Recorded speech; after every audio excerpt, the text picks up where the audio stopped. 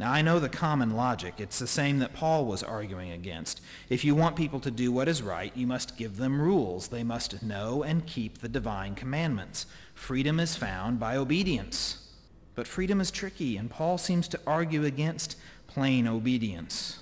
In Greek, the word that we translate as freedom or, or liberty is eleutheria, and it seems to come from the roots for arriving, eleu, and where one loves, eran. The etymology points at eleutheria, meaning the fulfillment of one's love as a growing and rising process, as advancing to a higher state of being, a process which is never done in isolation.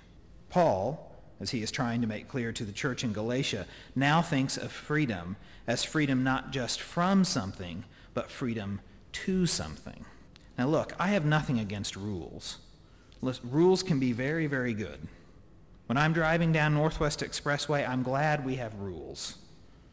That's not a place where I want people expressing their freedom.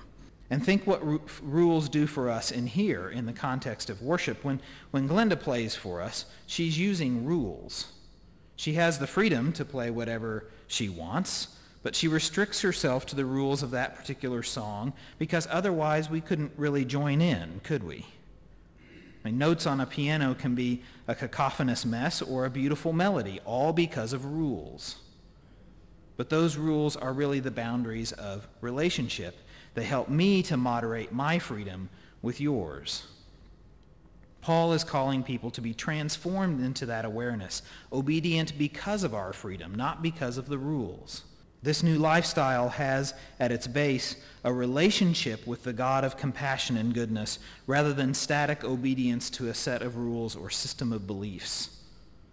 That's what results in good living, at least how Paul sees it. Christians, says Paul, need to make this relationship their focus, and like all relationship, it's going to have some rules to it. Just like with our partners or our friends or our family, we don't live by those rules, we live with them. The rules are always subject to love and, and bend with needed, when needed. Sometimes they break, and sometimes they break in irreparable ways. But we don't operate our relationships based on the rules. The rules simply act as the boundaries. And let's just be frank here. Paul is not talking about a relationship of equals. He makes it quite clear that we are to be obedient to God's way.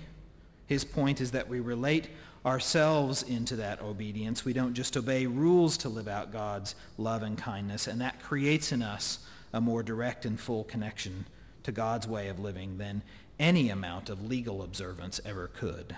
Paul spells this out in a very Greek way of thinking, a dualistic example of the spirit and the flesh. Now, Paul was just using a metaphor, but just like with religion, we've taken this too seriously. Paul was a person of Hebrew descent. He did not think like a Greek person. He just understood how they thought, and like any good rhetorician, made his argument using their terms. What I find interesting is if we were to read the, the NRSV, the New Revised Standard Version translation, the one that you have in your pews there, you would see this whole argument of spirit and flesh. Peterson doesn't use it at all because he knows that Paul was making a specific argument to a specific group of people using their language, language that doesn't necessarily work for us anymore. Unfortunately, we've made this into a spirit versus flesh argument, as if they are separate things, opposed to one another. All that Paul is saying is that the flesh is finite, but spirit infinite. So things that orient us to stuff that, that satisfies temporarily but fades away are of the flesh, they're perishable. But things that orient us towards the infinite are of the Spirit. Paul says this many ways. There are things which lead to life and things which lead to death. Following the way of the Spirit over the way of the flesh leads to life. It is still possible, after all, to enter a relationship with God and then abandon God's priorities and follow after our own selfish impulses at the expense of others.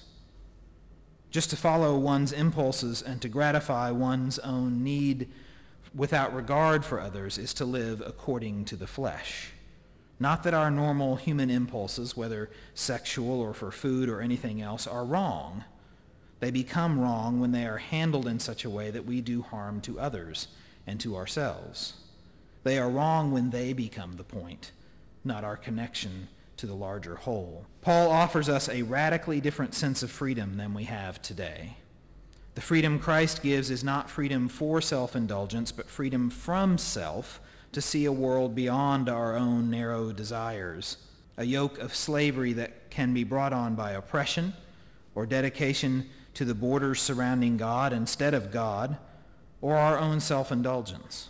Desmond Tutu, a man who knows something about figurative and literal prisons, says, the goal of human life is to live beyond the small, narrow prison of our own cares. That's the freedom that Paul wants us to know, and that's the freedom that he asks us not to squander. Our freedom is a sign of our value to God. Since God values and loves us fully, we are given freedom. But just like any relationship, that kind of freedom requires responsibility. We have to recognize that if we are all created equal, as both the biblical and American promises go, then we must see other people's freedom first. That's the only way it works. When we get caught up so much in our own freedom, we end up taking another's away. That's as true for you and I as it is for communities or corporations or nations.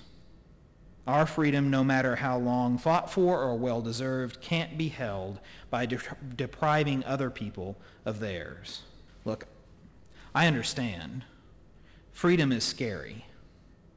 It's nice to think about, but especially when it comes to our own faith journey, we'd, we'd probably like a little more guidance. I mean, having more agency over something we feel so tentative about in the first place isn't really great news. But I believe in that freedom. And I'm not a person who thinks that God has some grand design for people. Oh, maybe there are some people God specifically sets out to do certain things. Author Donald Miller has a great bit about this. He says that if you're wondering if God has a plan for your life, then, then look at the biblical stories. He goes through and he counts up the number of times that God has sort of indicated a plan. It's 277 times by his count.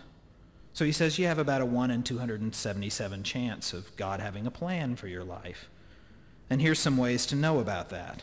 If a burning bush speaks to you, then you probably need to listen. If you have a dream that you're going to be second in command of Egypt, start paying attention and seek counseling. If you've never had sex and become pregnant, chances are something is up. But for most of us, the pen and paper are set before us. We are to write our own story, and God is giving us the freedom to do so. And that terrifies us because we're afraid we'll get to the end and it'll be like a, a, a, bad movie. You know, the ones where the credits start rolling and you say, really? That was it? Paul is very radical in his call for us to stand up in the freedom that Christ has shown us. It involves us being engaged now. We can no longer stand back waiting for God's dramatic call. We have to actually be part of writing our own story. We have to actually use the freedom we have been given to remind or enlighten people about their own freedom. And we have to work to maintain that delicate balance between my freedom and your freedom. I don't know about you, but this 4th of July, I have something else to think about. Yes, I'll, I'll watch a parade and I'll see some fireworks. I'll be thinking about something else. In the past, I've thought about that declaration of over 200 years ago and what, what freedom means today, but this year, well, I think I'll be wondering about a declaration from 2,000 years ago and what kind of freedom that means for us today. For economic freedom has not made us free, other than superficially. Political freedom has not made us free, other than superficially. All of these forms of so-called freedom can only gain substance when we see our communal connection where there is a recognition and respect for the fact that all people are created equal and are endowed by their Creator with certain unalienable rights. When we see that God has set us free to live a life of the Spirit, so let's make sure that we do not just hold it as an idea in our heads or a sentiment in our hearts, but work out its implications in every detail of our lives. That's the truth. the truth that sets us free.